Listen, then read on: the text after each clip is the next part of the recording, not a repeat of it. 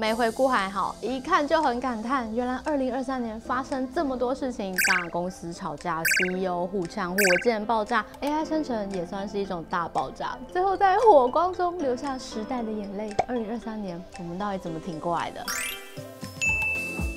？Epic Games 跟苹果长达两年的诉讼终于落幕了。为钱吵架特别认真，Elon Musk 跟 Zuckerberg 喊了半年要决斗啊，今年是有机会看到吗？另一个花两年完成心愿的微软终于收购动视暴雪完工。但最好看的是这一出 Open AI 宫斗剧，三天换三个执行长，公事私事都能吵，真的是商场如战场。我选择躺平，躺好派 AI 上场。ChatGPT 上线两个月，用户破一亿，让生成式 AI 成为二零二三代表字。富爸爸之一的微软没闲着，推出社畜宅了就能躺平的 AI 助手 Microsoft 三六零 Copilot，太强太扯了。晶片大大们也没闲着，做手机的高通发表 PC 处理器，让 AI PC 来抢市场。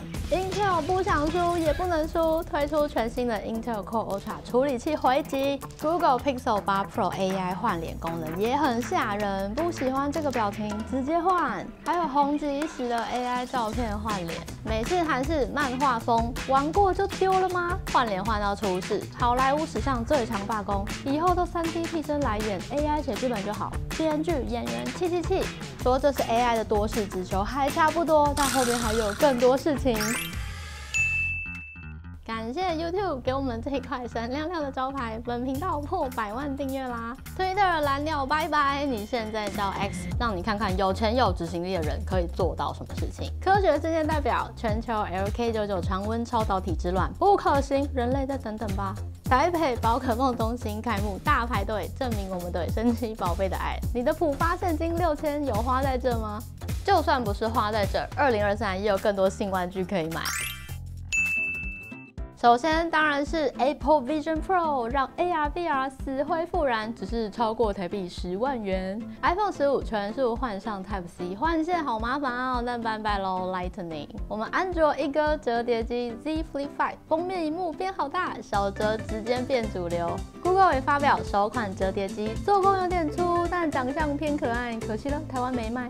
华为死灰复燃，推出 5G 手机 Mate 60 Pro，尽力进了个寂寞，吓坏全世界，还是那句遥遥领先啊！对了，别忘了 Meta 推出跟 X 超像的 Thread 旋风式爆红，但它在你的手机里活多久呢？产品依旧推陈出新，眼花缭乱，但有些事，有些人，2023年却永远走入历史。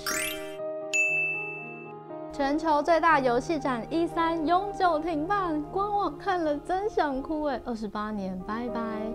雅虎奇摩超级商城也选择熄灯休息，但购物中心跟拍卖还在啦，今年还在。